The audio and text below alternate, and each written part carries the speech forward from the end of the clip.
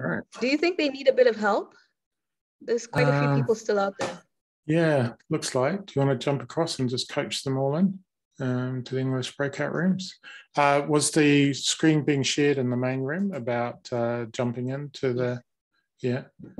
Oh, no, people no, are coming. we ca- people the- are coming through now, so that's cool. Okay. They're coming Okay. through into the different uh, rooms, so that's all right. Um, this might be just you and I. we can have a chat. We can. I, I, yeah. So this is Which I- I- I need to get back to you on several things. Yeah. ditto, ditto, ditto, and ditto again. Yes, we need to have a little talk. when can we um, have a meeting? um, totally up to you, really. Uh, I should be able to fit in. I'll, Uh, I'll, I'll except, oh, wait on. Um, so Sunday, Monday, Tuesday, Wednesday. Um, after that, I'm out for a week. Um, so uh, because I've got meetings end to end down in Wellington. So uh, let's see, are people coming across yet? Uh, getting there. Only 11 people left. Da-da-da-da-da. Yeah. Um, so whatever suits you. Um, so we need to have a good chat um, on things. Yeah. Um, you're saying Tuesday, Wednesday works. yeah. Yeah. Okay, Uh, cool. well, Monday, Monday, Tuesday, Wednesday um, is fine. I've got a ton of stuff to do tomorrow, um, so it's probably not a good time. But um, my Just as a my, my Monday, Tuesday, or Wednesday.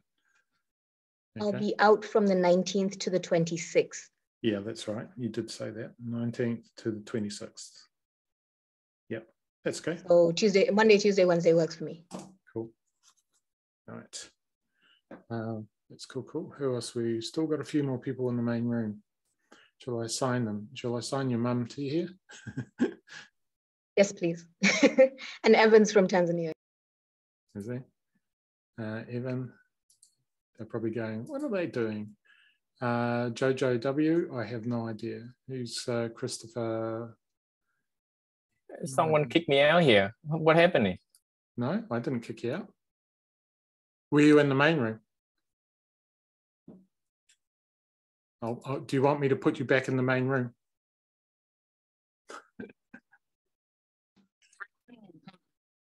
Lynn, you're muted. No. That's all right. See, see, now we can appreciate Felix's adept use of Zoom. It's a learning process for all of us. As we sort of try and figure things out. Yeah. So uh, we can figure that. Hello, Evans. Hello, Anne. We were not able to. Hello, Robert. We had the All room, right. but now Uh, we what, you have couldn't- Hi, we could not. We could not get in. there Oh, were no really? breakout rooms. There was no Oh. indication Yeah. for us to join. Oh, okay. We okay. were kind of, but Utah let us in manually. Oh, right. Okay. Cool.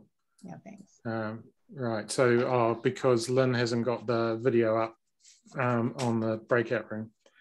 So that's okay. Um, we'll figure that out. We're just learning Zoom. That's what we're doing. You might have, you would have thought that we'd figured it all out by now. Things might break. yeah.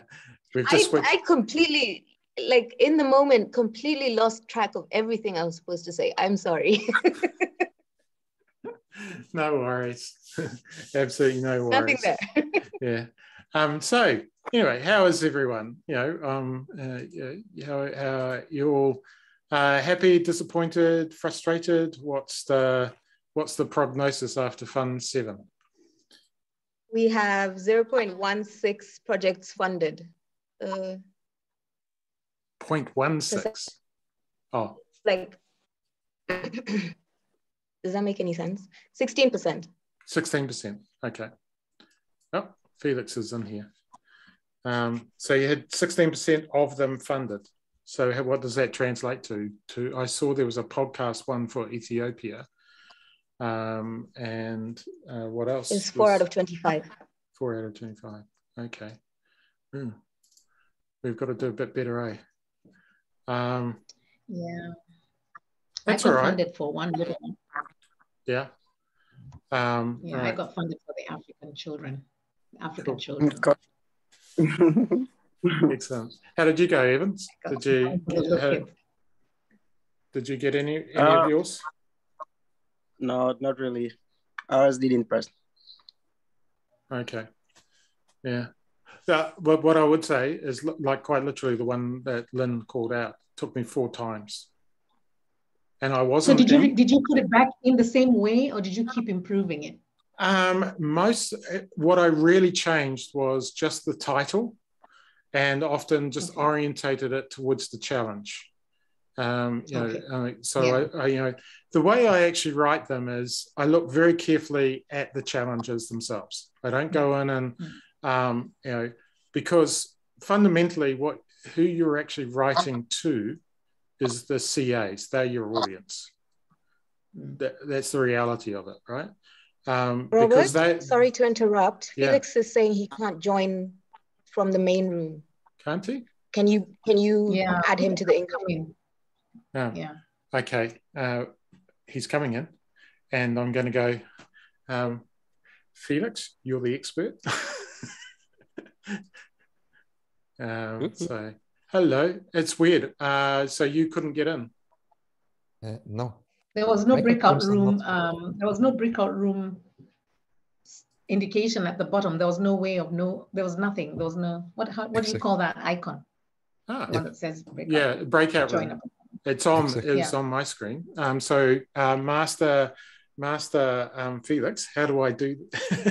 how do I manage things in uh, in Zoom uh, to do that? Um, so there was obviously something going on. But, Uh, when you s- when you set up the rooms, the, you Yeah. have three options, and when you set up the rooms, you have the option to say let participants choose the room. yeah, I did that. If you did? That's Yeah, weird. I, Then I did normally that. all should be fine. Yeah. Um, Mm. So I made sure of doing that. Oh well, uh, we'll have a bit of a practice um, again. You're here now, then that's what matters. Um, You have a geeky computer that's blocking things in the background. yeah, that's all right. Yeah, my mouse ran out. Power. Um, so yes, what I did was um, that particular proposal was put up literally about four times, uh, and um, and that was okay. Um, right, uh, and I didn't mind too much um, because they were all quite technical, and so therefore they needed a certain amount of um, promotion and communication about what they were, right, what that proposal was. Uh, because of the design of Catalyst, the way that it operates is um, really this idea that um, over time, the community learns. Um, by being exposed to the proposals as a CA, for example, um, you read these proposals and you start to pick up terms and you start to pick up a, a Mm. way of doing things or what your expectations are. And over time, the community gets better in principle. This is the idea in principle gets better because then we start learning more by just participating in the review process and the whole process itself. Um, and so, in many respects, you've just kind of got to go with that flow. Um, you've got to make people aware of what you're trying to achieve. That's why we do the Idea Fest. That's why we do, um, you know, the town halls, um, is to give you guys an opportunity to discuss your uh, ideas, your situation, um, and what you're trying to achieve.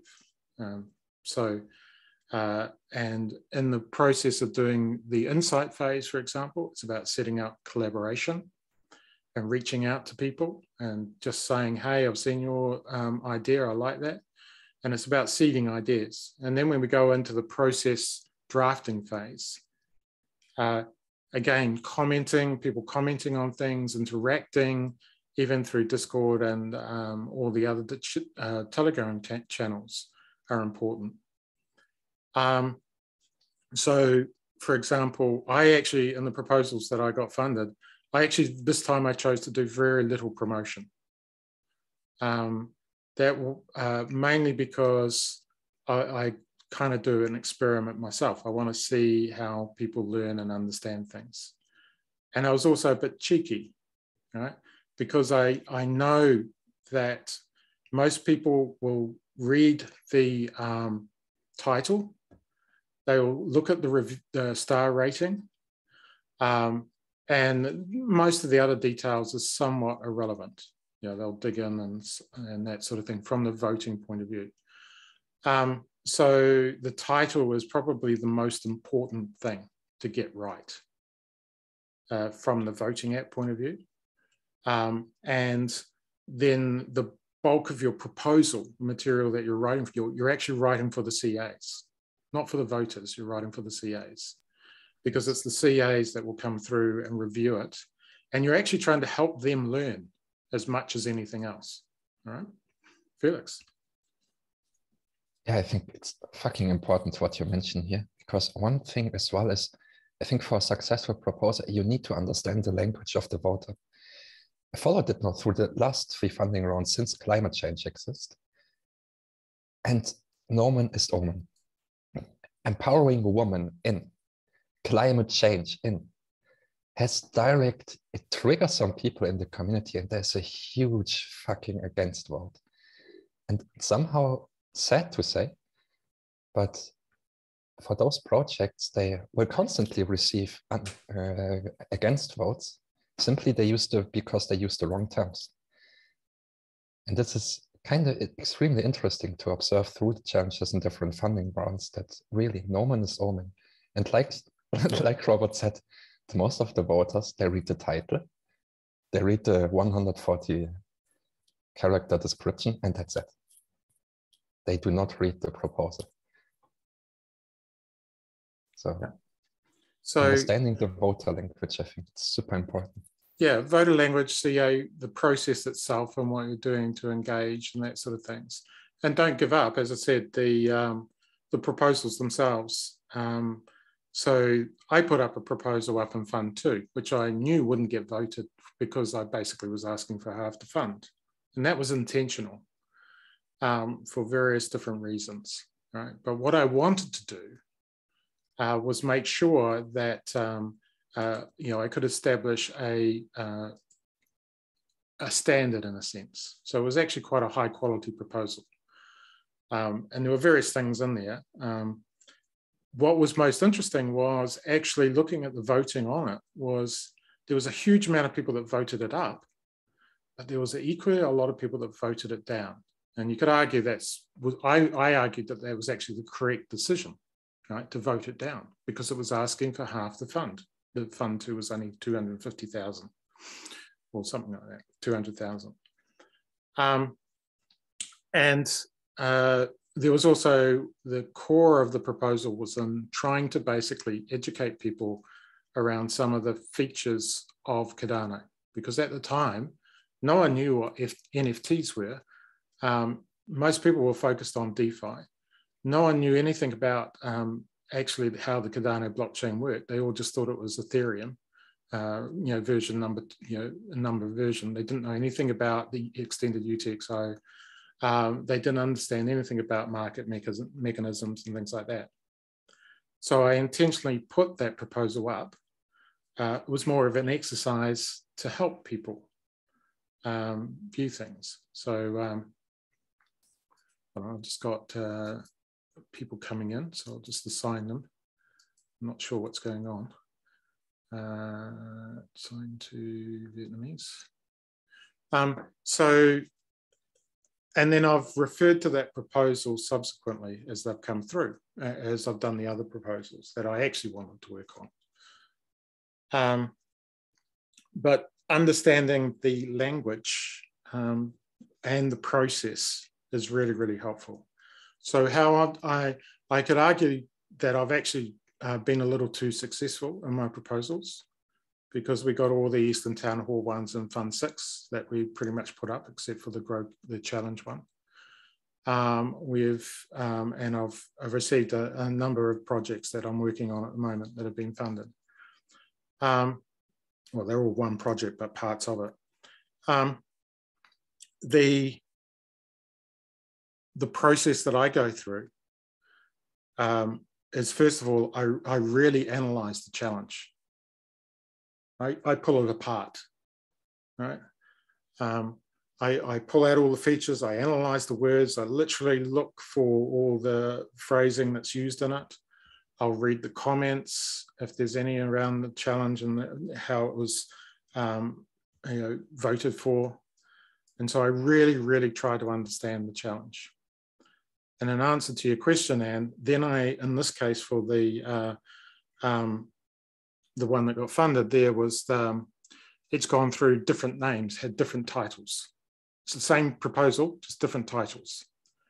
And I've tweaked the proposal to meet the needs of the challenge, emphasizing the language that's in the challenge and the language of the community overall, what I think the community understands. So I might go out into Telegram and try and understand, see what they're talking about and move uh, through those sort of areas um, and work out what's going on. Some proposals I do not think will get funded, right? Um, but I'm trying to establish something. So particularly like the, the challenge setting ones.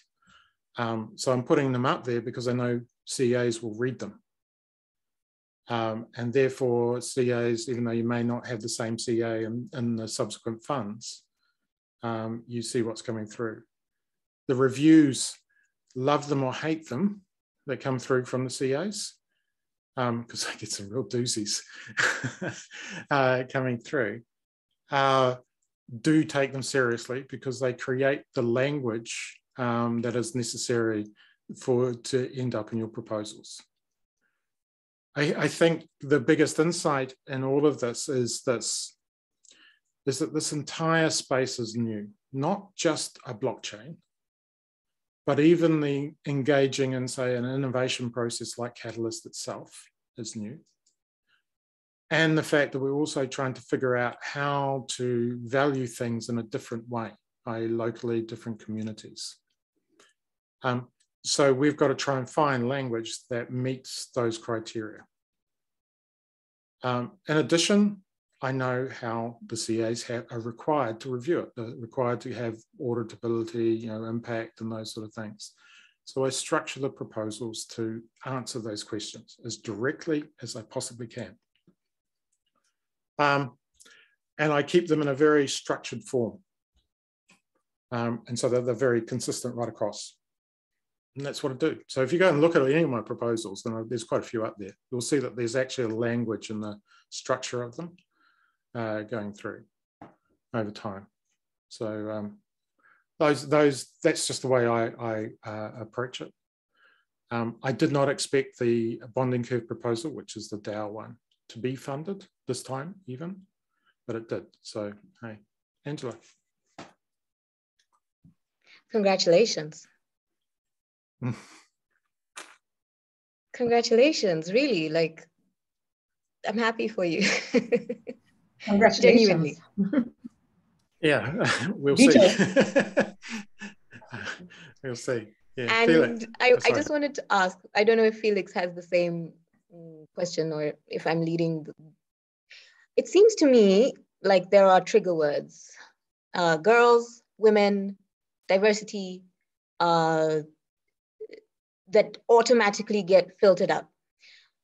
Um,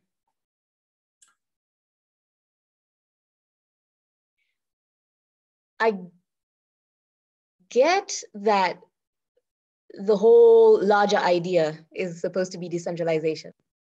But I also get that the people who are currently in charge have no interest at all whatsoever. As they've said many times in this room, I'm not interested in Africa. I have no interest whatsoever in, you know, the far, far-flung corners of the earth. What would be the best because I felt like boosting diversity in Catalyst, for example, as an example, was kind of covered. Uh, it was under a veil of. Um, I don't know. here- here's my thoughts. myself. I'm not. Yeah, I, I know what you're saying. Um, here's my thought. Uh, there's a number of views that you've got within this space. Not, I don't just mean Catalyst, I mean the cryptocurrency space.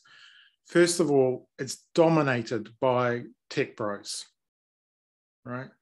Uh, really is. Uh, and that's one of the things that makes it so interesting to me for Catalyst itself, the Catalyst process itself, is it's not strictly dominated by tech pros. But outside of Catalyst, and remember, Catalyst is actually only a small part of the overall Cardano community, it is.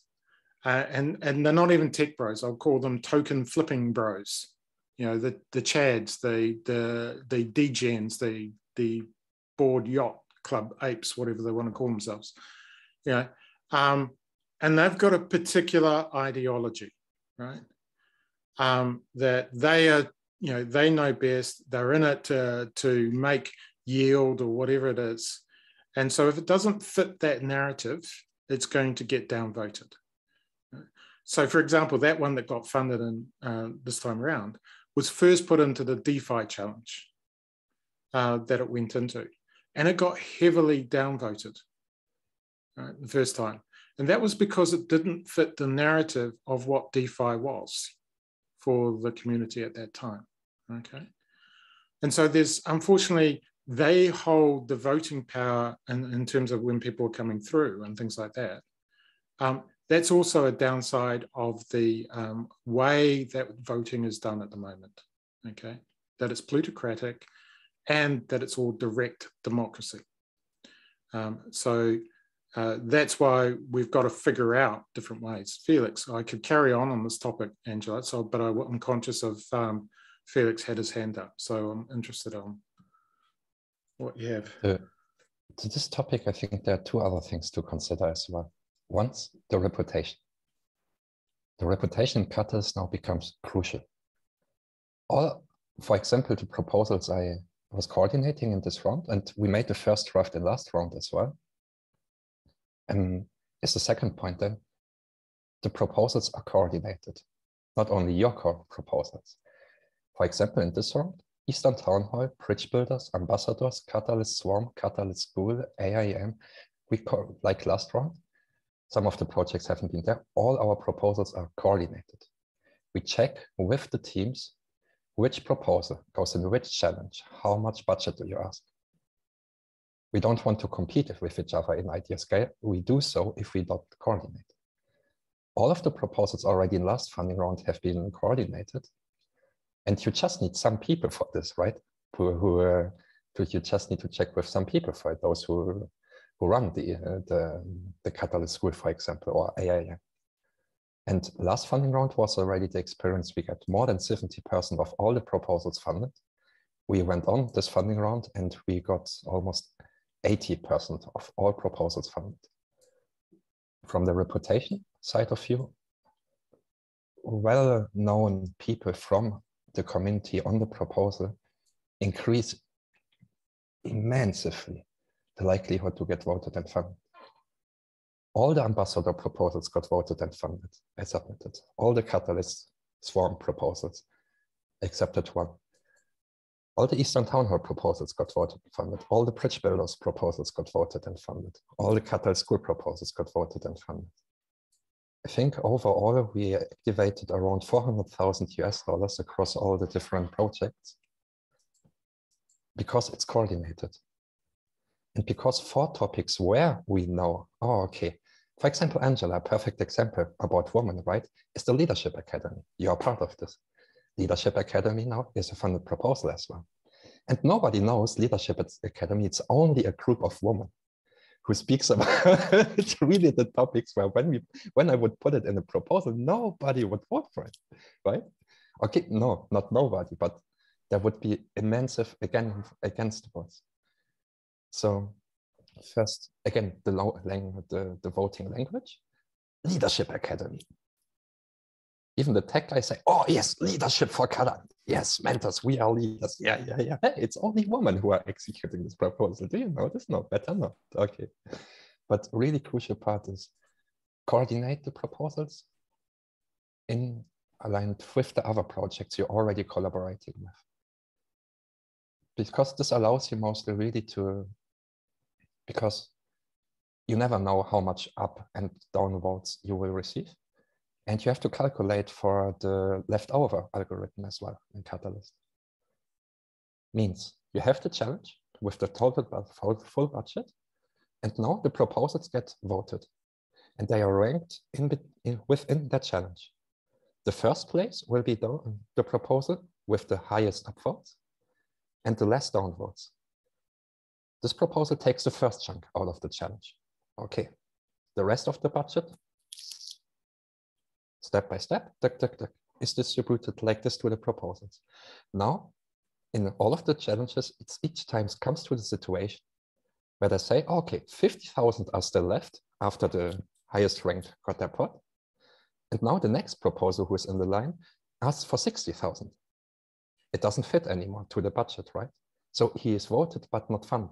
The voting algorithm will go to the next one now and will select proposals which fits to the leftover budget. So you calculate your proposal in alignment with the other proposals which are in the challenge. You readjust the budget because you know, okay, which likelihood will I be in which rank? You check already also the other proposals which are in the challenges where you don't know the people behind or you know the people behind, but you're not directly collaborating with them.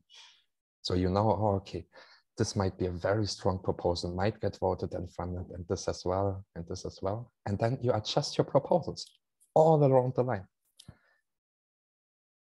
to ensure that you, even when you have not enough votes, you fit into the leftover algorithm.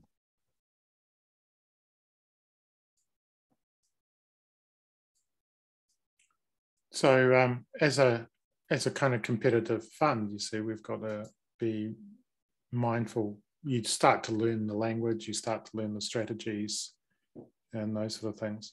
I I will be looking. I haven't looked at the results properly, but I was disappointed to find all the the women and uh, the climate ones weren't funded.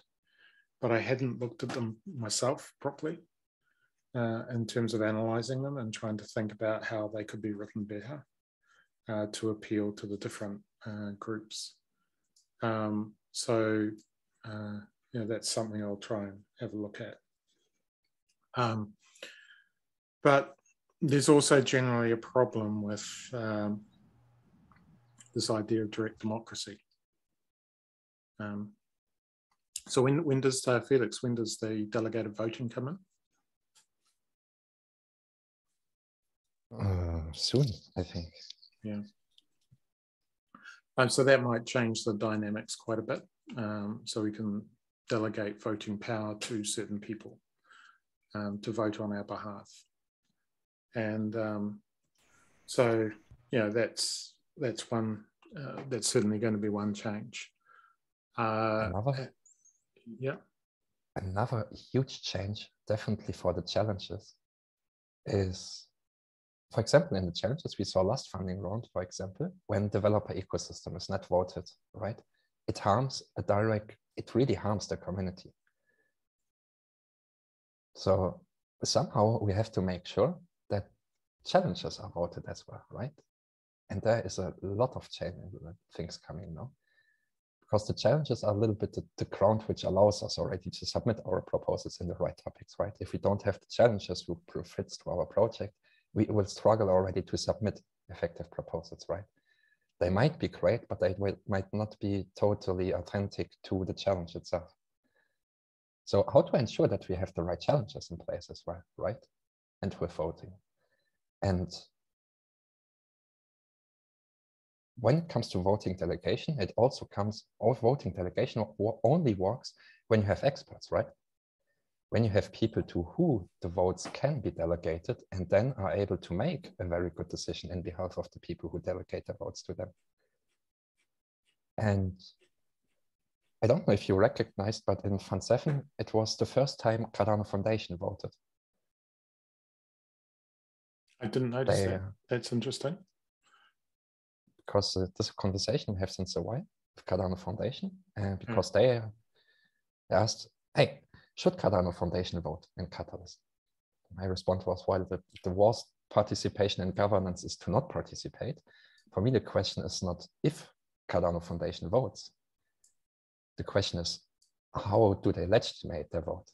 Hmm. How do they make their vote? If it's only two people in Cardano Foundation, have no clue about Catalyst, they shouldn't never even consider to vote, right? Well, what we did is we uh, made a survey on the very beginning of Fund 7 challenge, a challenge review and ranking, where we got over almost 100 answers from people. They ranked the challenges. These challenges have been voted on by Cardano Foundation at the end of the challenge. We have been very careful, so only with 15 million, only on some challenges and only upwards, not downwards. Hmm. The thing now is that they, because they registered already 107, uh, 170 million ADA to vote, we said, whoa, whoa, whoa, no, no, no, 170 million is not a vote, it's a decision. You can't do this, especially not on the first time. Well, the things Cardano Foundation definitely wants to use the treasury. They could vote with 700 million. The thing is that they need a community to define the process. Hmm.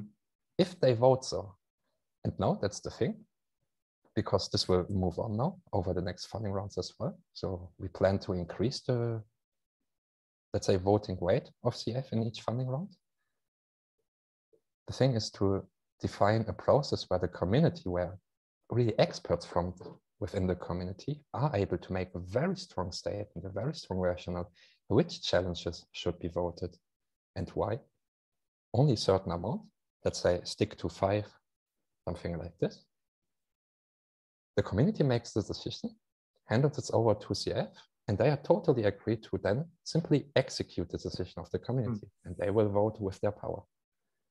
And this is something extremely interesting who might change a lot, a lot in the community as well. Because now you have a direct access to, to a certain decision-making power. And the main goal is not that you want, don't want to include, like in Catalyst voting, everybody, for example. I'm mostly very against voting because in Catalyst, I have the possibility to vote for and against everything I want. Well, if I don't know anything about DeFi, I shouldn't even have the right to vote about it, right? Because my vote would be so useless. like, I mean, it doesn't make any sense, right? So why do I have the right to vote? That doesn't make sense. And when I want to say, hey, okay, how to make really good decisions, I need somehow an expert's opinion who know really well about Catalyst itself already by experience, who know about Cardano, who know about the topics then about the domains and everything. I think this is something where also Eastern Town Hall might have an important role also to say, hey, here you have opinions from local communities, right? What we not really have in Cardano yet. With Eastern Town Hall, we, we create this format, right? Where people can have a deep understanding of Catalyst, how it works, participate and everything. But yeah, just want to say that uh, definitely this expert structures where people, high skilled people, high profiles come together, brainstorm together, make a decision together by best will and knowledge. This will have more and more impact on the community. We will move away also from individuals with own projects. They will struggle a lot in the future to come in.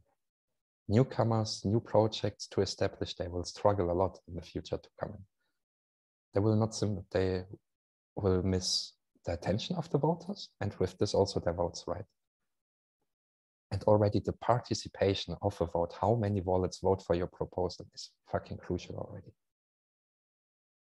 another thing as well is that from the registered votes only a minimum of the registered votes actually votes i think this funding round we are on 6% of all registered votes who actually voted this How is much? ridiculous. Six Yes. percent. Really? Oh. This is ridiculous. What is happening there? Why?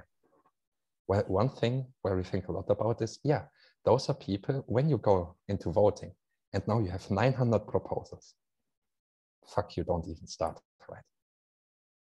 You, found, well, you want to find proposals who fit to your interests and all, yeah, show them a way to find them. Totally lost. And again, the experts now will play an extremely Right. important role in the future. Yeah. So that actually came up um, in the voting. So what I do each voting round, I have a few wallets that have just got a small amount in them. And I use it as a, a way to bring people into Cardano and start thinking about it. uh, to get them to vote is I've found to be quite a successful way to get people interested because you can say, well, you know, you can just go through and it's like they've got about a thousand agents sitting in there and they can go off and vote. So pretty small. Um, and so this time I gave it to an ex-minister of our government. She's just resigned. And uh, so she was uh, going through and uh, asking me all sorts of questions about the process. She got lost, first of all, so I was helping her through and just suggesting which ones to go and look at and travel through. But she was quite lost, and but she was so keen to try it out because she was actually, um, and so she was working through that. And then after she'd voted, she was asking me all sorts of questions about was it proportional, how did it work, and those sort of things. She was really getting into it uh, to try and figure out what was going on. So um, I hope to have a further talk with her. Um, I, I, missed the meeting I was supposed to have with her last week because um, time zones, um, time I should say. Um, but I'm, I'm keen to talk to her and understand what her process was in terms of what she thought. But one of the things in terms of all the messages and stuff I was getting from her was it seemed a bit overwhelming. You know, where do I start? Where do I go? What do I do? That side of things. So with lots and lots of votes, lots of different challenges, it's overwhelming, even just the voting side of things. Um, and like uh, Jack didn't want to vote this time. He just, oh no, there's too much. So I voted for him. That's right, Anne.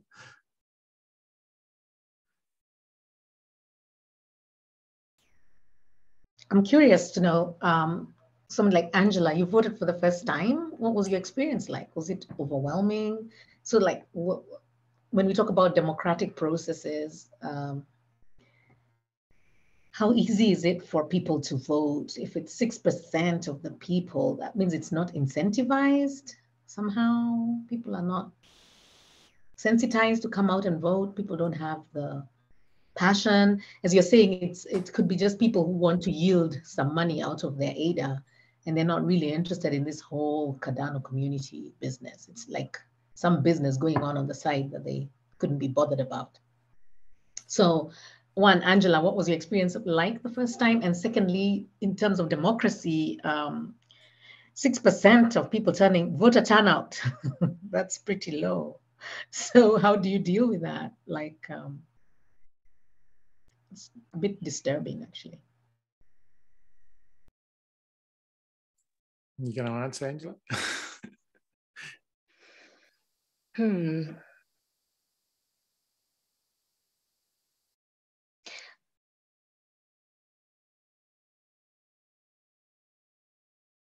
Well, it's it's uh it's an experience, isn't it, Catalyst? Catalyst is an experience, and it's been overwhelming over and over and over and over again. And so you kind of as you move along, get stronger in dealing with the overwhelm, even if it's only slightly. And so you kind of have to, I have kind of had to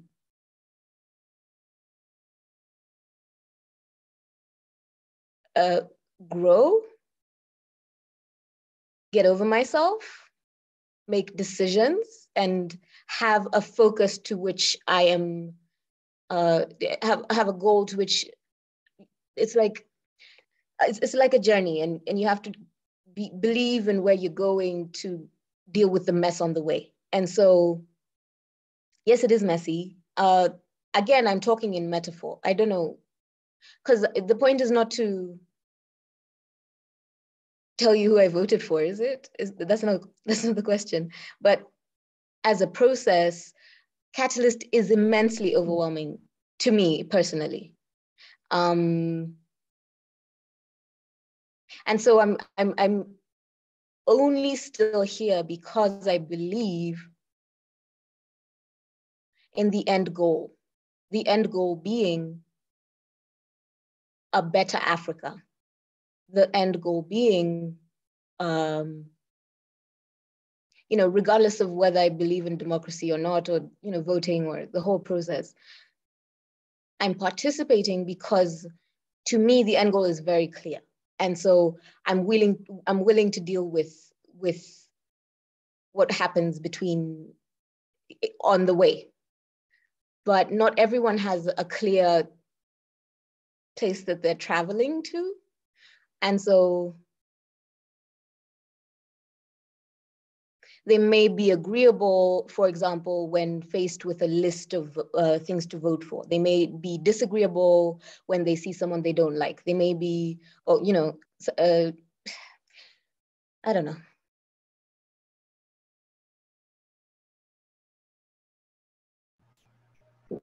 Okay, thank you for that. So, so that means that there needs to be maybe a lot of sensitization, maybe a fund for helping voters.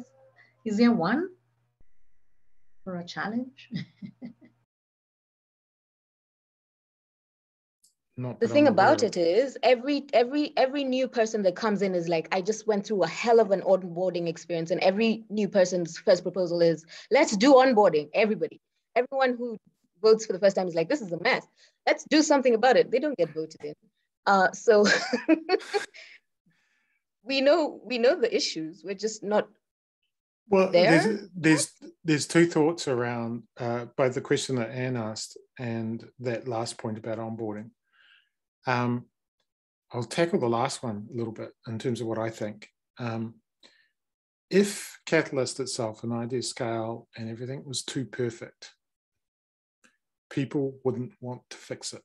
They'll just accept it the way it is and you know disappear and stuff like that. At least if it's broken in the sense of hard to find around, people want to fix it. And that means they care enough to engage and try and fix it.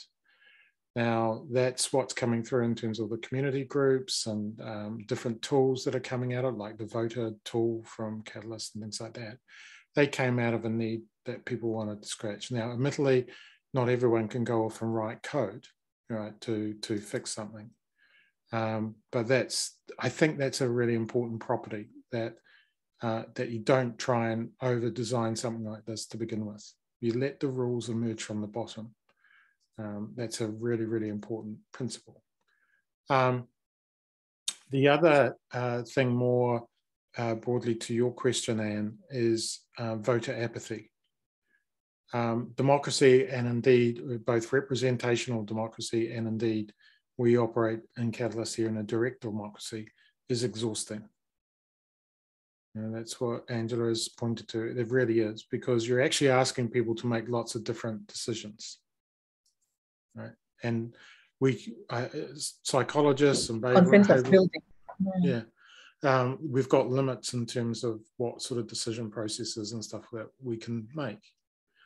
Um, and so, the first of all, just the sheer number of proposals presented to you, or not even the sheer number of proposals, the sheer number of challenges presented to you becomes overwhelming, let alone going in, driving into them, and you just scroll through and say, when does this end? You know, how do I understand it? That's actually exhausting. Um, so generally, what happens um, in the, you know, it, you get what, what's referred to as um, voter fatigue. Um, and the second bit is, well, my vote won't matter. You know, I've only got 2008 or 1008. My vote's not going to matter. Why should I bother? Right. Um, and that's, uh, you know, my, my influence isn't going to change things. And that's true for a lot of people that don't vote in representational democracy because they don't think their vote's going to matter. And the problem is that lots of people make that decision, and so you end up with poor choices, um, you know, that don't reflect society's whole um, intent. Uh, so those are generally a couple of the things uh, in terms of challenges associated with direct democracy, is that it is quite exhausting. And that's not even considering the catalyst process. I think anyway, in regard to this, I think, for example, when you compare to Polkadot, we have a massive onboarding process. We have even onboarding process in our own languages, right? In Polkadot, you don't have any onboarding because you don't have any projects to participate in. And I see the onboarding process in Catalyst as well, uh, or let's say the structure in general. We are a global community in a permissionless environment. What do we expect?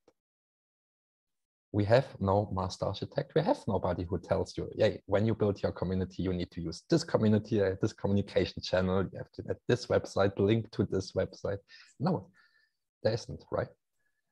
So it's the community themselves who sets up this environment and the onboarding process to state it horrible. I mean, in Catalyst, I think we have one of the most effect, effective and impressive onboarding processes in all blockchain ecosystems at general, even combined. Then it's funny to see that the people say, yeah, it's overwhelming because what is overwhelming? In Polkadot, they don't even would think about the shit because they don't give any shit about it. We say it's overwhelming because we set the standard for ourselves that everybody should have the possibility to participate. This is an extremely high standard, guys. And yeah. it's we never even wrote it down. And it's a standard who is established already across all projects and catalysts. And the onboarding process now, it's difficult, it's overwhelming, but I like to see it as a recruitment process as well. It's still young. We don't, I definitely don't want to have the, the mainstream in Catalyst right now. I don't want to have moon boys hanging around here speaking about shit I don't, which doesn't add any positive value to the yeah. situation. The people who make the way mostly people who stay as well. And the onboarding process is it's a kind of educational selection already. Not everybody yet fits into what we are building here. And that's okay. Um, as long uh, just last sentence, as long yeah. as the intention of these people who make the step, who make their way, as long their aim is to say, hey, it should be inclusive and open to everybody. And that's the case. So I see a lot of beauty and worth in the situation. Yeah, and I I, I concur, Felix, totally. Uh, one of the things I will point out with like respect to a lot of the other chains, like Polkadot, like Aave, like Alacran, they are actually focusing very much on the technical community. Um, yeah, they're trying to compete in the DeFi space in many respects, which is you know basically white bros. Quite frankly, you know, most of them, you know, want to try and make make a bit of dosh, and all they care about is um, token flipping. Uh, so, in those cases, you've basically got um, people who are submitting proposals are typically coming in from um, a development background, so they may already have skills to navigate, you know, complex sort of developer environment. Uh, whereas the Cardano community, and I've had several people say this to me, is vastly different. It's like night and day in terms of the discussions, particularly around Catalyst.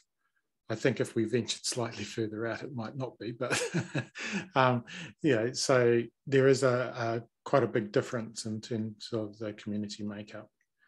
And therefore, our expectations, um, I'm a developer, I'm actually more um, uh, comfortable diving into things that are broken you know don't quite work and figuring them out and navigating around. But i'm acutely aware that most people are not like that. Um, but it is also to felix's last point there it's a selection barrier at the moment which is probably a good thing because if you made it too easy we would be overrun and our culture wouldn't have been developed yet properly. And then it just becomes meaningless. Exactly. um, so that's that's a key key thing to keep in mind is that we're actually trying to develop a broader um, culture and what we're actually doing.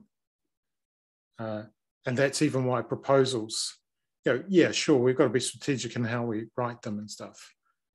But they've also got to try and help, uh, in particular, the challenges is the key thing here. And we don't pay enough attention to the challenges. They are the things that uh, direct the direction of what we're actually trying to hidden. Okay, those those are what we're trying to do.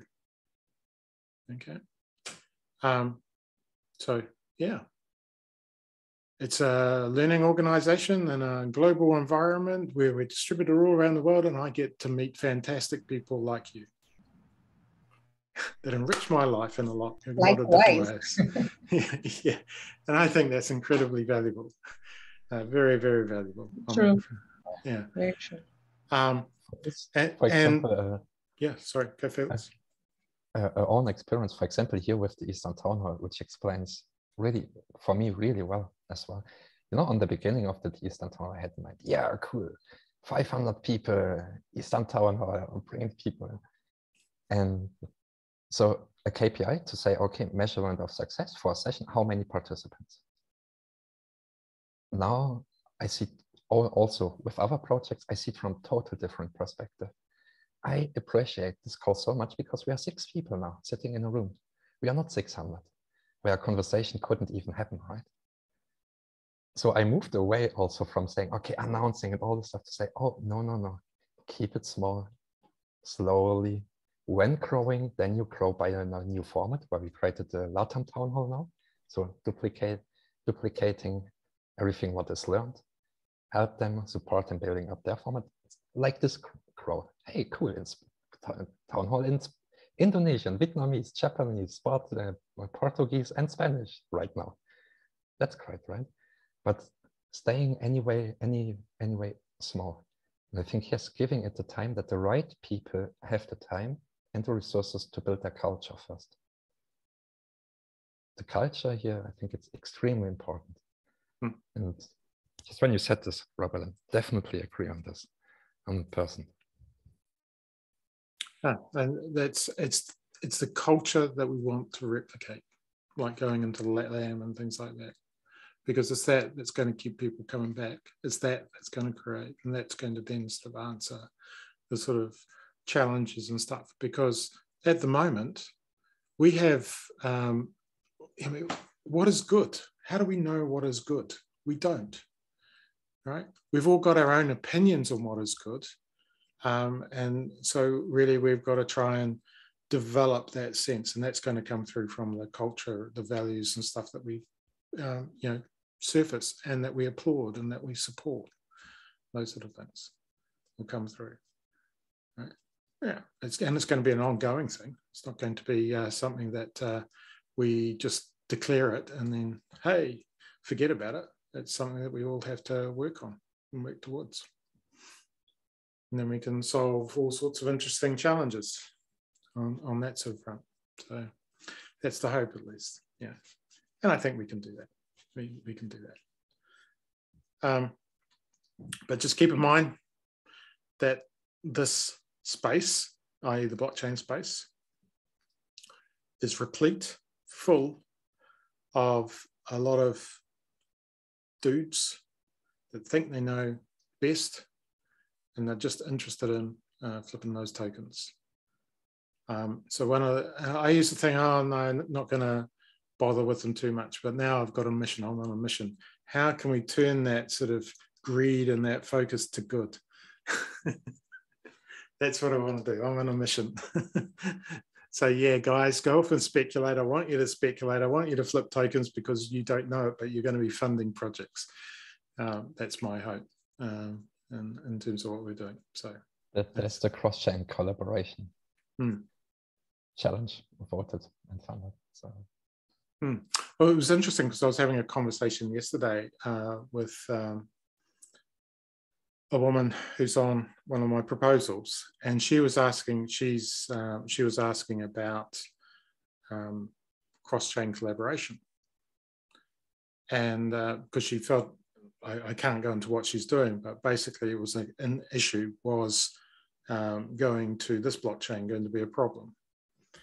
And my comments to her, first and foremost, is like um, in terms of the blockchain space, um, we are tiny.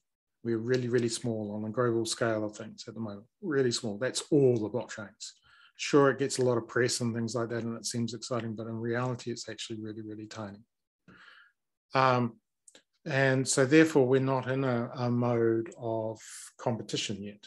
We're in a mode of collaboration because ideally we want to try and increase the pie. Uh, what is happening, I've noticed across quite a lot of the chains, um, in terms of Hydra, uh, Algorand, Algorand, I always get that wrong, uh, uh, and a few others, they're all moving towards the notion of impact they're all pushing that quite a bit. Um, so you know, doing things for impact related, you know, climate and social impact. Uh, was really the first one to, to really do that on a re, as a general purpose chain. There were a few others like Regen and uh, a few others on Cosmos IXO and stuff that was trying to do it early on. But Charles was really the first one that was pushing that idea. Right? Um, in terms of economic identity and egalitarian inequality. Um, so we're really small in the space. So we shouldn't be competing, we should be collaborating. Right? If there's a competitor to us, Cardano, or any of the other chains, it's the existing way of doing things. And so we're, we're here to try and figure out better ways. And that should be all of us trying to figure out how to do that, whether we're in Cardano or Algorand or, or Ethereum, um, those sort of things. Um, so cross-chain, I was really pleased to see that Felix come up, uh, cross-chain collaboration stuff. There's a lot to come. Hmm. Oh, because um, sorry, it's it's worth also to see Project Catalyst because when you take away Project Catalyst, what do you have?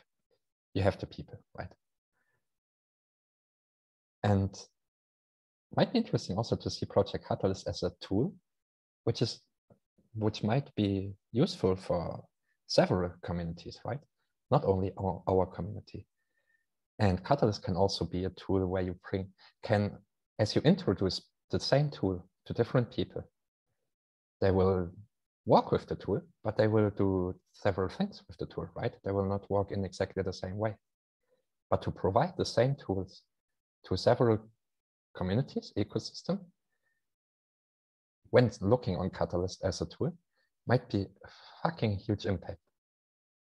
So from our perspective, it's really look like, okay, how can we use Catalyst to not only not only for the Cardano community, but allow a whole own ecosystem and community to use this tool to collaborate with our community. So for example, because I mentioned before, right? Polkadot Web3 Foundation, they are heavily interested in Project Catalyst. We introduced it to them already. Showed, hey, look, this is Project Catalyst, this is how it works and everything. And they're also very in in the mode of, hey, collaboration, how can we work with other communities, other ecosystems together? But on the same way, like in Catalyst, uh, like uh, we do in Catalyst, on the bottom-up community approach, right? So because the both they're facing exactly the same issue, the transition of power. How do they move the entities away from controlling everything over to how can the community now control everything in a decentralized way? That's a huge challenge. Nobody knows how to execute. Nobody knows how to look like, how this will look like. And the problem is now also in our different ecosystems and communities, we work on the same challenges without speaking to each other. We don't have any access to our resources, experience, knowledge, or whatnot. And when it comes to onboarding, onboarding is very overwhelming for somebody who never had some tokens, who never heard about NFTs. The easiest way to onboard people is onboard people who know already, hey, what is proof of stake? What is a wallet? What is a stake pool? Well, Polkadot, for example, it's also proof of stake, right? When to onboarding, the easiest way to onboard is onboard ecosystems who work already on the very same thing as you do, right? And that's kind of really interesting that Web3 Foundation, which is uh, running Polkadot, they're really, really interested in Catalyst and they want to join. But in a way that it's not the entity who guides, in a way that it's the community who guides. And this conversation goes on since a while already. And now the challenge is voted and funded. It also is, is a direct way to say, hey, okay, when we have projects who already established, already emerged from within the community, well, anyway, it's difficult for them to survive because what's after Catalyst? What if your project wants to mature now? You can't rely on 30, 50,000 for a whole team and everything, right? Over three months, doesn't work. You need other resources. In Cardano, after Catalyst, what do we have? We have nothing. We have the cFund. We have a not yet really clear uh, Emurgo fund for 800 million. But even the cFund, it's 15 million, something like this. It's ridiculously low, right? Cardano right now is incredibly bad position to really build really big structures, even even led by the community, right? The resources are simply not available yet. How can you make resources available without using your own resources? So yeah, bring other blockchains in, right? We have already Catalyst natives with COTI as a first pilot. When a blockchain comes in, submits their challenges, brings their treasury, and they pay in their currency, you increase radically already the amount of available resources without touching any of your resources, right? And it's a direct benefit for the others as well, because when we as Cardano community submit proposals in a COTI challenge, uh, in a Polkadot challenge, then for example, well, we first have to set up a Polkadot wallet, right? They use it as onboarding process now as well. and so you, you cross pollinate as a result because people exactly. coming in. That's great. Thing now is to, to say, okay, how could it look like that a Polka that a dot holder can get a snapshot of its dots translated into ADA, for example, so that they also can vote, right? Because with their dot wallet, well, they wouldn't be able to vote right now. They would first have to transform it as well, swap it to into ADA, register first, tick, tick, tick, all the stuff. But Angela, you have your hand up. Sorry, I shut up. No, it's interesting. Um, I, I, I, in reaction, reaction to that kind of, sorry, my ineloquence is showing itself, but if I can just speak. um, in terms of resources, I am so grateful that both you and uh, Robert and Felix have been willing to support us in East Africa this far.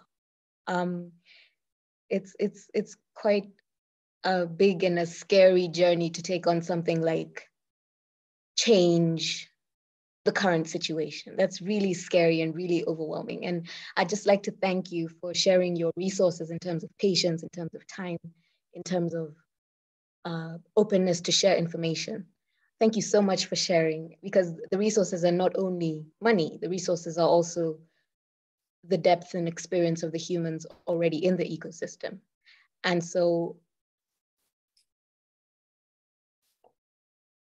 taking on a project like Grow Africa, Grow Cardano, um, you know, with WADA, or just the basics of um, where Charles would like us to get to, um, that's quite overwhelming and it's quite a big project and it's quite scary, in my opinion, as someone who's taking it on. And I'd just like to thank you for sharing what you do have. Um,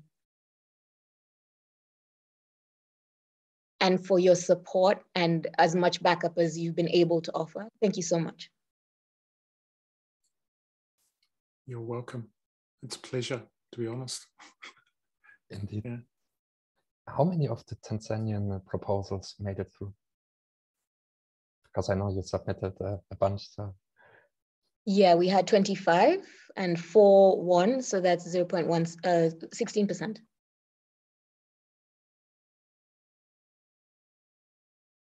for one? I didn't get 0.16 i don't know why i keep saying 0.16 but 16% of four four out of six four out of 25 okay so already first step congratulations patients. already so what were the four that got we got the podcast we got your small one and uh, which is uh, education for girls. Uh, what else?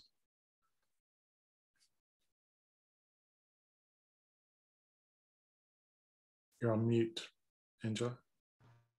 Actually, actually, the education for girls didn't go through. What I oh, got through was African children telling African stories. The one with the African storybook, ah, right. which is a digital, a digital, um, a digital repository of stories um, that is um, open sourced. And so it's exciting because there is an open source challenge this time round. And so I would like to ask for a little more money for that um, and engage the African storybook more. So that was a surprising one. I mean, the one I pushed for did not go through because I think it had girls and young women. So that clearly is not a thing you do in Catalyst. Um, No, it will be. so We'll we change that. We'll change that. the- Yeah, change the title. You- you Yeah, so that put- it's not it. talking about women. Yeah. It's like women is out. We don't talk about women in this one, in this environment. No, we'll change that, Anne. We'll get that around. We'll swing that around. Um, helping helping different parts of the community, I think, is really really important. Um, I should actually dive into that storybook one. I know you presented it, uh, and I'm just trying to remember it. Should I dive saw the storybook one. I liked it. Yeah. It was pretty good. And we Yeah, it was, it was, it was, it was voted for. Yeah. I think it's because I we- also asked for very little inspiration to do money. one. Uh, yeah, we've got inspiration to do a similar one in Sri Lanka. We are planning to do this time. So Sri Lankan children Oh, also have stories. wonderful. So got an inspiration from that. So hoping to propose it for Sri. Lankan kids to tell their stories. Okay, Sri Lankan storybook. Okay. You can do Yeah. um, the regional one. African storybook has all the languages, like all African languages, almost all. So it's quite a big project. It's been going on. It's been supported by UNESCO. It's been supported. UNESCO is quite big on that one. So it's it's a good project, I think. It's a good idea. Hmm. You should try it. So uh, and how long was this going on before you all applied for Catalyst funding? And how did you all fund it at the at that uh, earlier stage? This I joined I joined Catalyst in November 20, 2021. But prior So to that, how did the storybook first project? time ever. How did the storybook? yeah, Oh, the African Storybook get- Project. That's a very old Yeah, yeah. the African Storybook Project has been going on for a long time, and um, it, uh, you know, I, I come from a background of education where I have been working with um, with um, digitization uh, of um, the whole digitization process uh, in education for children for schools. And so when we put in uh, computers in schools, we also look for open source materials. We also put in servers in schools to try and get offline sort of versions, offline materials, offline libraries that children can use, um, but they're still digital. So the African Storybook is one of the biggest repositories and libraries of African stories. And then the beauty about it is that the children write those stories. Those stories are written by children and illustrated by children. And then they are also um, available saw in the languages of the children. Yeah, so you can just take it and use it in any scenario. So I've, I've done quite a few uh, activities where I take stories from the African Storybook and put them in the devices that I have put in schools. So I've done that many times over. Um, and so we have one big project with Concordia University. That would be an interesting one to look at. Um, with a project called um, Abracadabra. So in Abracadabra, we have a component called READS, and from READS, we have READS just stands for Repository of Digital Stories, and um, um, you can, it's been sort of incorporated uh, there in, in the Abracadabra. So you can incorporate it, you can take the African storybook and turn it around and incorporate it into um, anything that you're doing. It's a repository, it's just an open repository of more than 4,000 um, 4,000 uh, books written by children. And in their about how many years? How many years uh, did it take to accomplish that quantity? And like, is it like decades or? The African Storybook or- Project. Oh, African Storybook Project. I'm not sure how old it is, but I plugged into it then. But I'm not. I, I'm not sure. I remember when it started. So it's been going on for a long time. But I plugged into it through Concordia University with Abra- Abracadabra, and I used the reads to. We put the Abracadabra in the in the schools.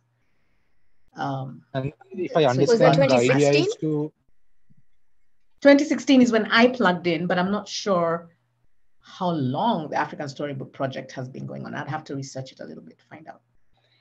so essentially it is to create reading materials for kids even if they're online or not It's- online, both. So it's actually ch- yeah, the- they're they're online, but they can be on uh, available. Like for example, you would put we would put them in the computer. You can just go use use uh, IPv6 and stick them in there, um, and so they get available even on the computers of the children, and they are so to speak offline. They don't need the the internet, but they can use the the they can use the server the server whatever server specifications you, you have in your computer, you can install the African Storybook. Um, it actually reads. You can install. You can install it inside the computer, but it's available as a on the WAMP server as a digital repository, but it is offline. You understand what I mean? Yeah, yeah, got it. You can also print them if you want, but there are too many. So we make them available as digital stories, really. Well, what's the access? Because they are digital, what's the access like for uh, computers or phones?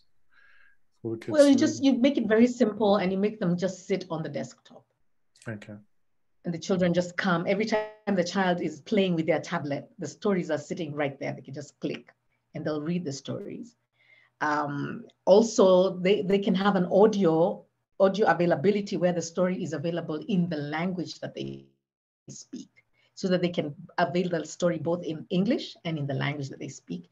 And that improves understanding of the story and in, improves their, their two languages. It's quite, So is I love that audio project. recorded I'm by, not uh, surprised it was voted for. is the audio recorded like by humans or is Yes, it they're some sort of audio a machine They're audio, the, yes, audio. Audio using HTML. so that means it's not a human voice that has recorded it, but it's uh, No, machine it's a voice, human voice. reading out.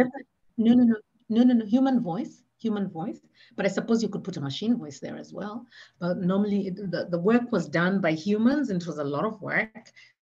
Because I know some of my friends who had to go to Canada and read stories and translate stories and read them in Kiswahili. So the idea is human voice as much as you can, but I suppose you could put a, a, bot there. My aunt is in Tanzania, so uh, I'm close to that area as well. She does mission work in Tanzania, and I was in Malawi for three and a half years, so that's also quite close to my heart. Yeah, the African Storybook has been used in Tanzania, in Malawi, because the stories are available in Kiswahili and maybe a few other languages.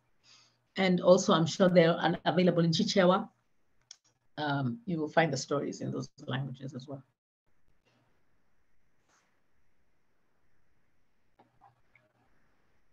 I'm going to have to go and get um, a drink of water or something. I'm burning up here. Go to sleep. Don't worry, I'll do that. I'll do that in a moment. Yeah. It's You just re- yeah. It's just really hot here today. Uh, I don't like Angela, what were your other projects that came through? Just to find out. I didn't win any, but we as East Africa had 25 and four out of 25 won. Uh, Yeah, we what had was the one? um, uh, Janti's project in Congo. We had two, the Amharic podcast in Ethiopia and the other Ethiopian one, and then the African storybook. Um, let me find the links. The hub. So the WADA, hub. you're, you're not counting the WADA ones. That's separate, is it? Yeah, we're not WADA. We're Yeah. trying to um nothing against WADA. We're trying to um show that East Africa is a very, very, very different region from West Africa. And East Africa has its own stories and its own drama and its own problems to solve. And so no, this is not WADA. Okay. Um, what was the performance of of uh, the proposals themselves? So that even the ones that didn't get um, funded, how many didn't get approved? Most Evans, you wanna did take not one? get approved. Big- big- Um, first we had three proposals. Two of them were uh, approved, and one of them wasn't approved.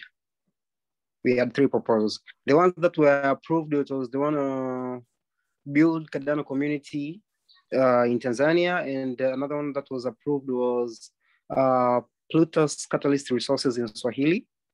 Uh, and the one that wasn't approved is um, SPO in trading and trading.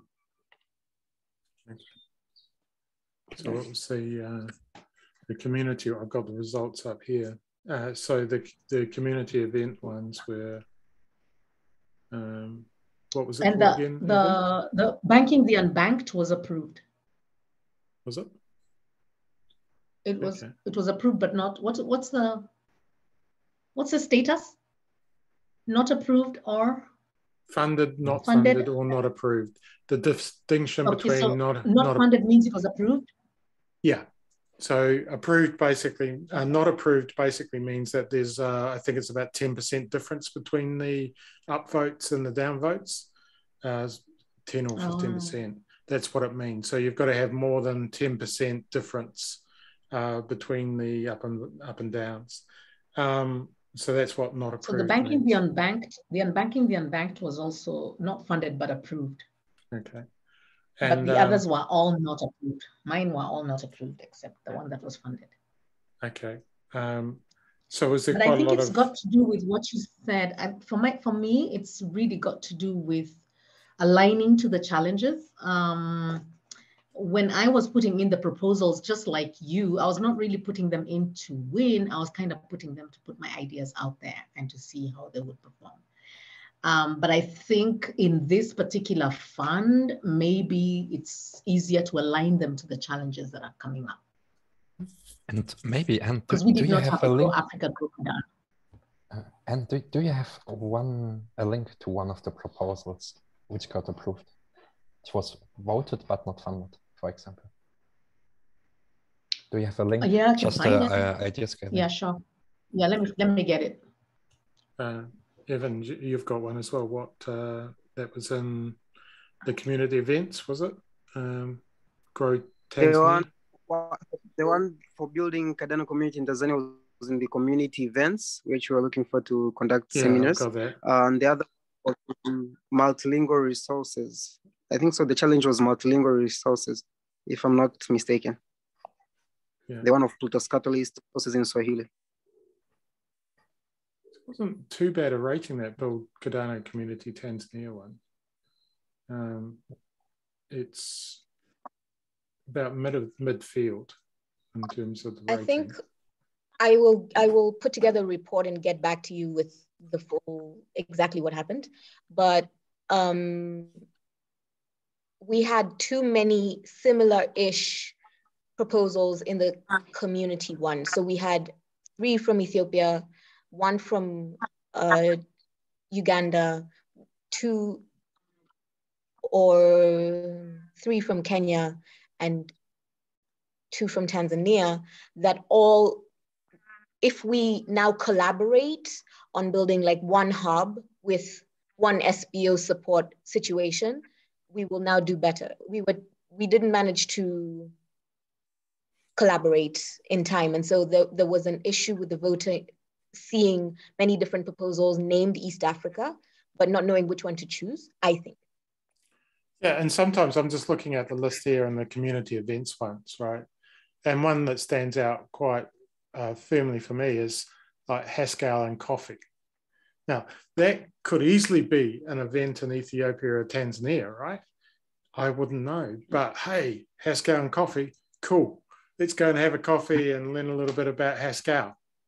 Boom. You, you, you know, you're catching catching the mind and uh, you, we've got like dumplings twitter space uh, got voted as well and she's doing uh, from all accounts amazing work in china um, so she's built up quite a bit of uh, profile um, but we've got let's see what didn't get uh, add a calendar for community events didn't get voted but it was fairly, um, didn't get funded grow afritine grow Cardano, ER Gardner.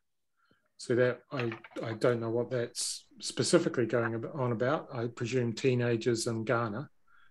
Um, and then, so Yeah, I the, the ones that um, have come through in terms of the community one, insight sharing is quite distinct. Idea Fest, everyone knows about Idea Fest.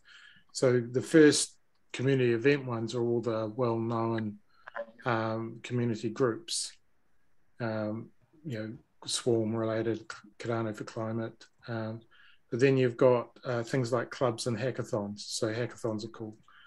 Uh, Haskell and Coffee, uh, TiVo's mini proposal workshops. Um, so they're all quite good, um, you know, titles. I think those those ones that are in there are all quite good. Um, so rather than say um, build Cardano community in Tanzania, which is a bit generic, uh, to be honest, um, Sure. why why not you know try and say this is specifically what we're going to do, and yeah, the proposal was about build Tanzania, but capture the imagination in the title. So a, a good example is the one that you know I've got got funded went through multiple titles, and I changed the title to suit the challenge the body of the Mhm. proposal remained the same, right? Mhm. Um, but you had to sort of fit the challenge in particular because uh, one is coming in are conditioned already because they're going off to read the, the challenge and they're going to go through and say, okay, um, whether they understand the challenge or not, they're going to be reading it and therefore conditioned to think about that. And so they're going to be consciously or unconsciously reading proposals in that context. Right? Um, and then the voters are going to be similarly inclined on going into community events. I already know this is about building the community, so I don't need to put that into the title. Right? Can, can I share something from a Yeah. perspective of a CA or VCA? Go, go, Dimitri, go. Right. So uh, as a CA and VCA, so for Angela and Evan, anyone else who's doing a proposal, the job of the CA and or VCA is to analyze your proposal. That is to say, does it meet the criteria of the CA uh, guide? So the CA guide is a very comprehensive document which goes into great detail as to what a good proposal should be like. So if you if your proposal matches the criteria of the CA guide and the detailed questions that are laid out in that, um, you have a much better chance of um, getting to the next round um, than if it doesn't. Um, so, for example, they've asked multiple questions about the impact, the feasibility, and the auditability. And if those questions are laid out step by step, me as a CA would find it much easier to approve uh, whether or not even I understood the entire details of the proposal. Now, I didn't personally go into proposals that I didn't understand. So I didn't have the time, nor did I have the inclination. So I focused on uh, community events, you know, proposer onboarding, multilingual resources, you know, those sort of non-techie things. But even there, I found that some proposals were vague and some proposals met the criteria what the CA guide told me to look for. So basically, I created my own questionnaire template, which I'm putting forward as a tool to get funded to develop. But basically, that questionnaire template, when I went through the proposal, I was able to take the abstract, vague ideas. I mean, not to say that the proposal was vague, but every proposal is different. So if you go to take it all from scratch, it's very difficult. So what I do is I read the proposal, I see if it matches the criteria set for a good proposal by the uh, CA guide. And based on that, I will give a rationale for my voting. So if it has a good budget, if it has the team members laid out, if it has the profiles of the team members, if it has a very clear, uh, uh, very clear Uh, uh, uh, budget broken down into components, a timeline, a reasonable timeline, not an unrealistic timeline, KPIs, metrics, auditability, contingency plans. So one of the things that most proposals didn't have was a contingency plan. What do you do if you don't have enough funding from this? What's your plan? So even if you say, I will work with what I have and get some more money in the next plan, it's better than not saying anything at all. So uh, that way, at least the CA knows that you've thought about what to do if you don't have enough money than you plan for. So that way we know that you planned something. So there is a better chance of success than if you didn't have a plan.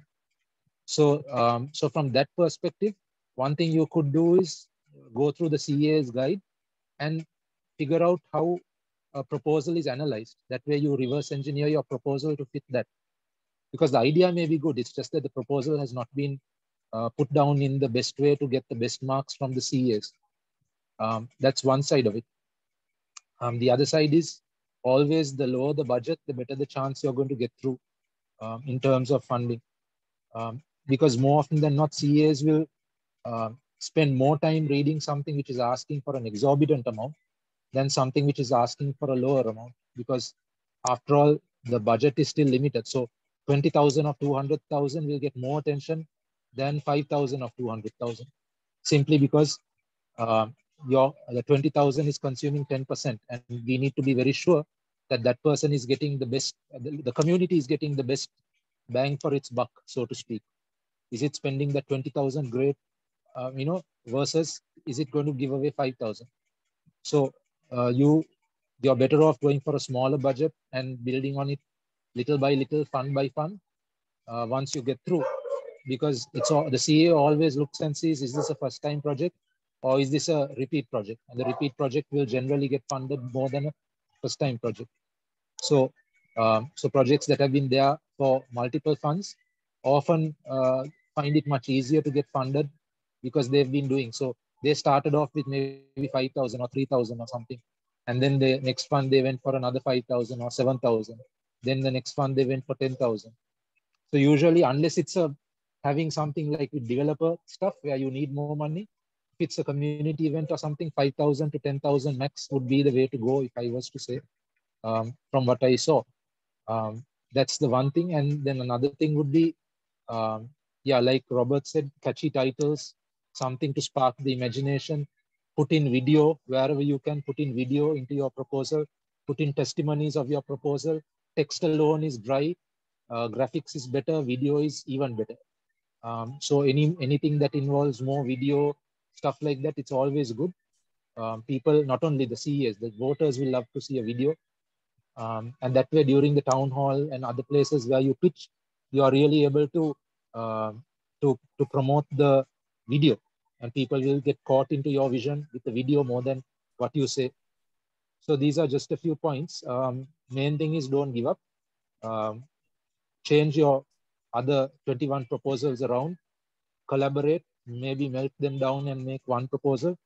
And uh, I'm sure that you all will get uh, more in the second fund, as, the next fund as well.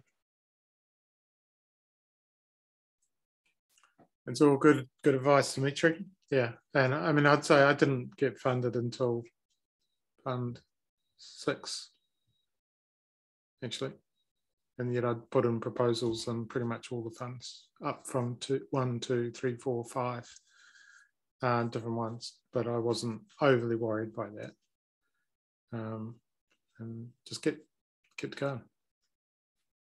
So that's the rule of thumb largely, to make sure you don't give up, you keep trying, and that we can have Haskell and coffee in Tanzania.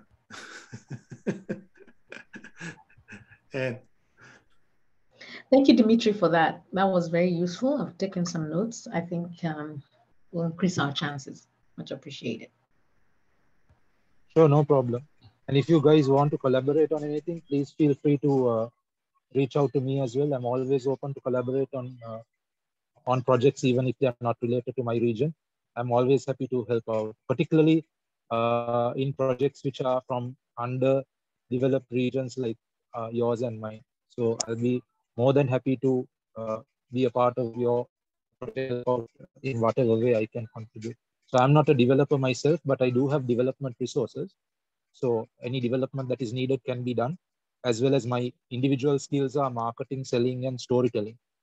Plus, I have uh, translation capability. So I do translation in a whole bunch of languages. Um, so anything that's required in any of those areas, whether it's me personally or the developer resources that I have, I'll be more than happy to uh, collaborate on those. Did you have any um, proposals on Dimitri? Yeah, I'm going to have about 25 myself by the looks of it. You're going to have 25. I didn't have any. I didn't have fun. Uh, no, I, see, I'm collaborating with multiple teams. So it's not me personally who's putting in 25, but I'm collaborating with a bunch of teams and all of them together, if you count, it's going to be about 20, 25. I haven't even made, made a list of them yet. Um, and some of these collaborations have been built up through my involvement in Fund 6 and 7. So there could be linguistic resources, there could be marketing, uh, you know, linguistic collaboration, marketing collaboration, developer collaboration. So different people want different things from me. So in that way, I get to participate in their project. So I haven't got anything in Fund 7. I was too late to apply for Fund 7. But I am making sure that I have my, uh, you know, ducks lined up for Fund 8. So all the proposals are being got ready so that the moment I want to ask when the placeholders will be open, so I immediately want to get some placeholders put in um, so that I can put my projects in. So I'd like to find out that maybe you guys will know that. But uh, Fund 8, I'm coming out uh, because I've got South Asia Town Hall already also there. So they need a lot of uh, resources for South Asia. Um, so they will have a bunch of proposals. I've got multilingual uh, stuff going on for all the Indian languages, Sri Lankan languages, and uh, video projects to do stuff on the proposals themselves, like the, okay, uh, one thing I can invite you guys is I'm planning on doing like small video clips and to create a YouTube channel. And when you all do your proposals for Fund 8, uh, what I would like to do is to incorporate your small videos where I would could give you like a small interview, like a five minute interview or a seven minute interview. Seven is a uh, interesting number to me.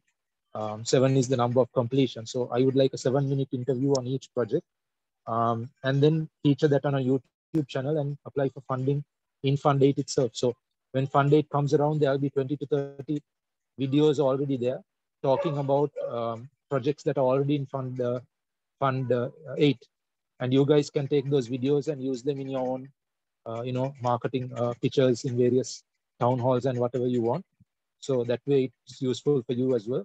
So I would like to do that with you all from the get-go. Like we don't need to wait until Fund 8 is announced. We can start working on those immediately. Basically, it's a seven-minute Zoom call, um, which we will record and then use that on the YouTube.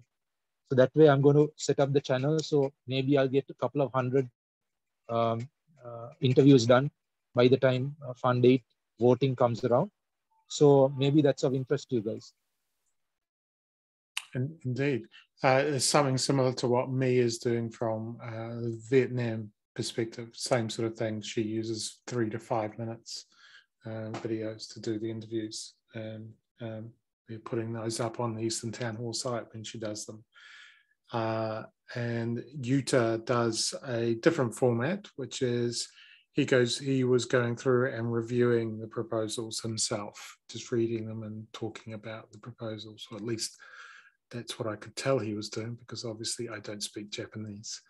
um, but that, that's uh, that's what you think he was. That's what you think he was doing. Yeah, that's what I think. Yeah, and and uh, Yuta's usual style of quite animated, which is always always uh, brings a smile to my face when I see it. So, uh, his, his his enthusiasm for everything. Um, so that those were two sort of formats that we did um, this time around. Uh, we in Fund Six we did much higher quality production for the Eastern Town Hall videos. Um, to uh, well, they were just scripted and recorded for about one minute or so, um, and then we did the editing and well, Jack did the ed- editing um, to bring them up to s- scale on those sort of things. So um, yeah, video is a very useful tool uh, to get ideas across. Um, really useful on that front. Yeah. So, anything else uh, people would like to cover at all? Any other topics of interest that you want to go over? Um, or I might disappear. we would like I think we should end the meeting. Yes, yeah. let's send Robert to bed. Uh, we should end the meeting in six minutes at the top of the hour. top of the hour. Okay, I'll hang him for six minutes. I'll hang him in there.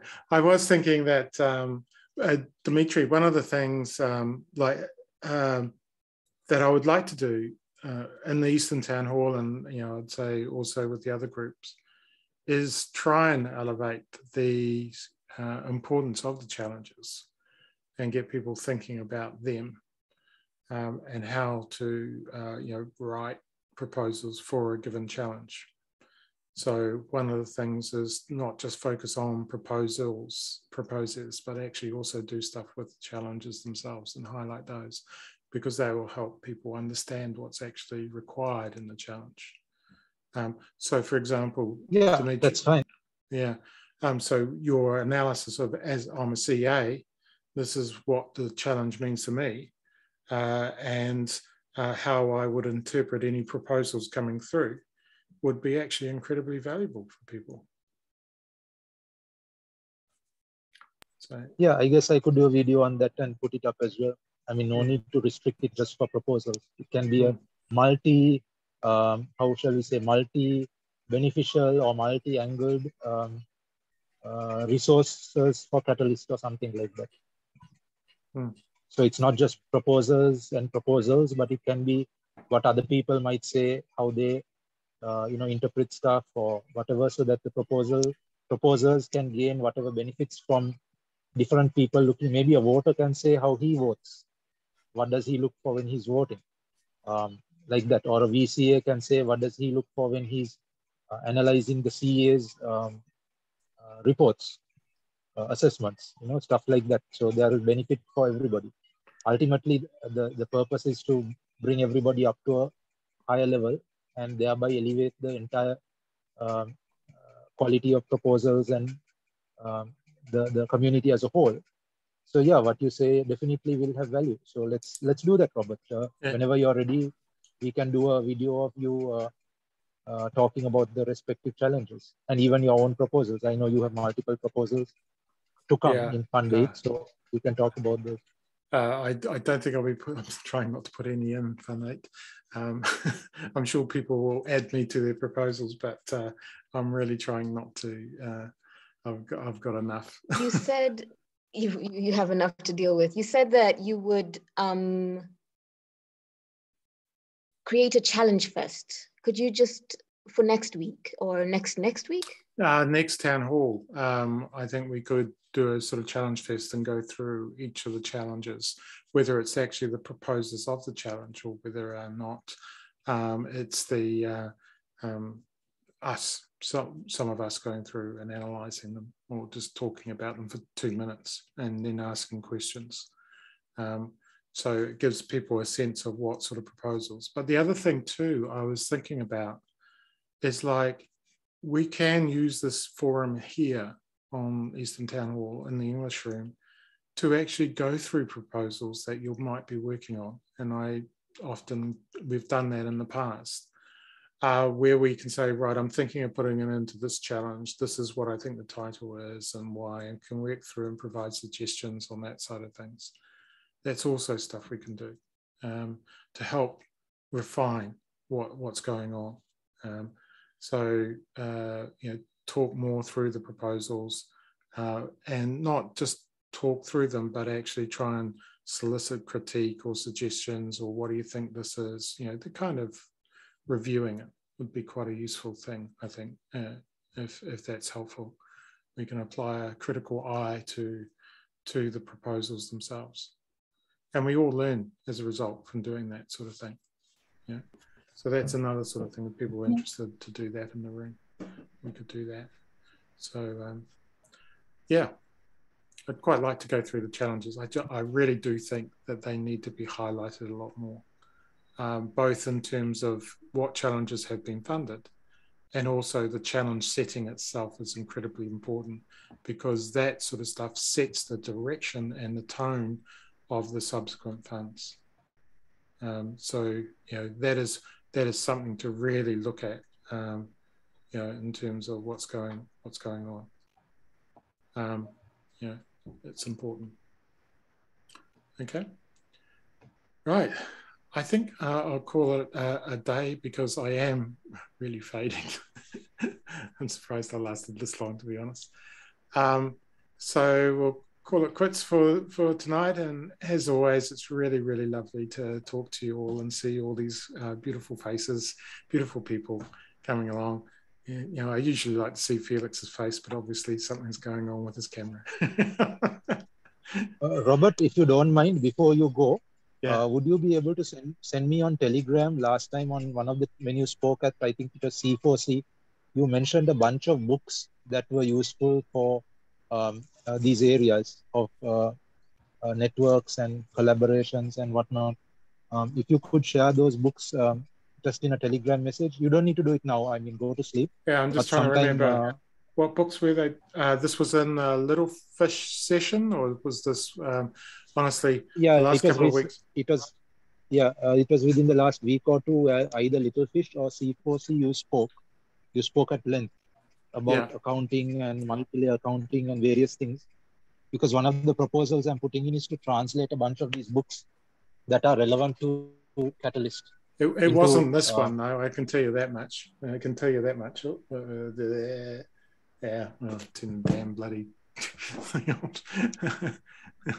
um, uh, this is sitting on my desk because I was talking about it this morning to someone.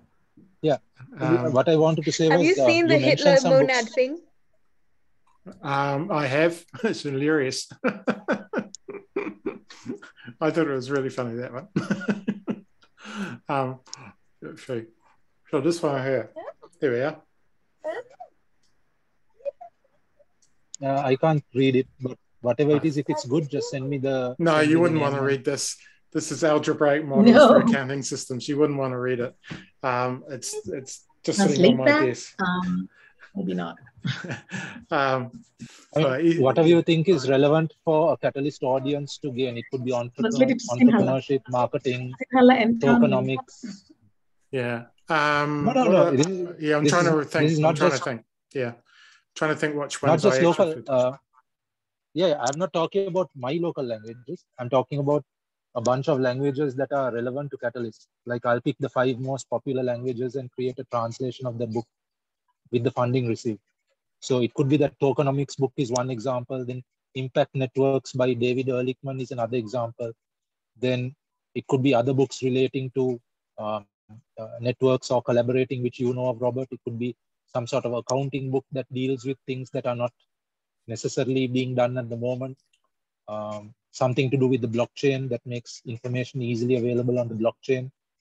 So Yeah. these would be resources that any catalyst person should read, whether he's a proposer or not, in order to uh, get a better understanding of Cardano, the blockchain, catalyst, you know, collaborations, English language, entrepreneurship, whatever. Those are areas to look at. So since you're a reader and definitely I know you know books that we don't know. So please do Um, suggest anything that you think.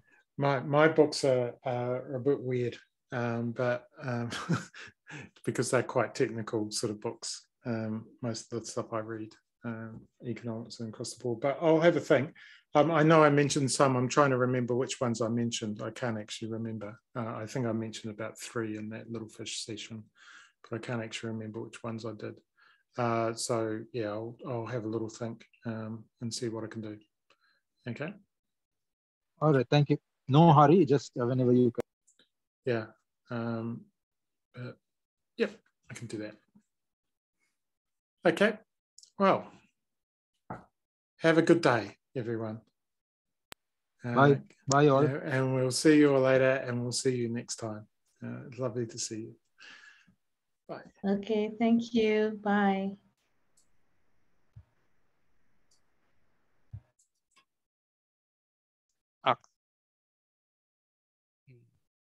kurang lebih kayak gitu.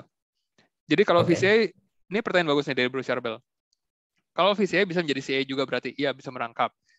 Problemnya kalau men- udah jadi CA terus jadi VCA, itu kalian harus milih kategorinya nih.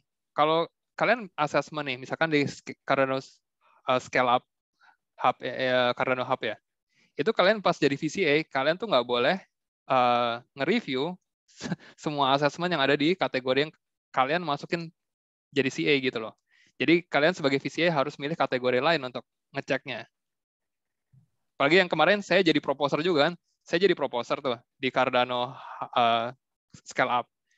pas saya jadi CA, saya nggak boleh akses uh, proposal yang under kategori yang saya masukin proposalnya. Kemudian saya pas saya jadi VCA, saya nggak boleh uh, nge-review yang saya jadi proposer dan kategori yang saya ngasih CA. Kayak gitu. Jadi cukup kompleks juga kalau kalian jadi proposer, jadi CA dan VCA. Kurang lebih kayak gitu. Semoga menjelaskan. Kalau ada pertanyaan jadi VCA, silakan juga. Bisa ditanyakan juga. Mungkin Bro Dani mau nanya VCA, penasaran? Kerja Rodi. VCA. Tergantung nanti. Ya, yeah, oke. Okay. Tergantung nanti mau lanjut VCA atau enggak. Kan minimal dua fund ya. Eh, minimal dua fund. Terus kalau yeah. kayak yang tadi Broyan bilang, kalau jadi VCA, kalian itu nama kalian tuh terpampang. Jadi kalau ada yang komplain, misalkan proposernya komplain, dia bilang, saya uh, ngeflag ini kenapa kalian tetap uh, misalkan ada ases, uh, asesor atau CA yang ngasih nilai tiga bintang ke satu proposal. Kemudian uh, proposernya ngasih flag ke asesmen ini. VCA-nya ngelolosin aja nih. Nah itu si VCA-nya harus bertanggung jawab kenapa dia meloloskan atau kenapa dia ngefilter out juga si asesmen dari CA. Jadi kalian jadi lebih kayak hakim gitu. Kalian mau lolosin, uh, ngefilter mau lolosin kasih good excellent atau ngefilter out suatu assessment. Nah itu dan nama kalian terpampang. Kalian bisa dituntut lah kayak gitu oleh publik. Kalau CA itu kalian nggak kelihatan namanya, cuman asesor satu, asesor 100, asesor 50, something like that. Jadi ya kalau mau aman, nggak mau namanya terpampang, jadilah CA. Tapi kalau kalian udah punya pengalaman dan emang mau jadi VCA, lebih suka jadi VCA, ya become VCA. Kurang lebih kayak gitu. Oke, okay. hi Robert. Oke. Okay. So, uh, ada pertanyaan lagi? Tentang CA, VCA, proposer, um, atau hanya sekadar pengen jadi voter. Kalau mau jadi voter, yang penting bikin wallet di Cardano pakai Daedalus, Nami, uh, Yoroi, CC Vault, sekarang ada Gero sama Flynn juga. Kemudian minimal harus ada 500 ada. Saya nggak tahu apakah requirement-nya berubah di Fund 8, kalau lebih rendah lagi atau enggak. Yang saya ingat waktu di Fund 3 itu minimum 3000 ada untuk bisa voting. Nah, ini ada pertanyaan dari Bro Charbel, saya jadi CA biar dapat reward supaya bisa 500 ada lalu bisa voting yes. Bener. Kalau nggak punya ada, tenang aja. Jadi CA, dapat reward, nah kalian di fund berikutnya bisa voting. Bagus idenya. Atau jual satu NFT tuh, Bro Andre bilang. Pavi ya, kemarin baru jual, baru jual whitelist. Oke, ada pertanyaan lagi, silakan. Bro Yan, ada tambahan? Uh, enggak sih, lebih ke ide sih sebenarnya. Kayak ke Mas Andi kan ini ya, eh, tapi ini pasti konflik of interest sih. Dia kan dosen di kelas Emargo uh, apa Foundations of Blockchain.